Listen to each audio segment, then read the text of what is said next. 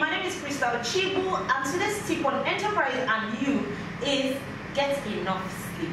And you might be wondering, what has sleep got to do with the enterprise? Yes, uh, studies and research have shown that, um, you know, when you do not get enough sleep, you have poor judgment, and that can actually affect your enterprise. Just imagine for a second, if you do not get enough sleep, and as a result of that, your judgment is poor, you can make wrong business decisions, and that will definitely ruin your business. So as an entrepreneur, you need enough sleep to be able to make the right kind of judgment that your business needs to flourish and do well.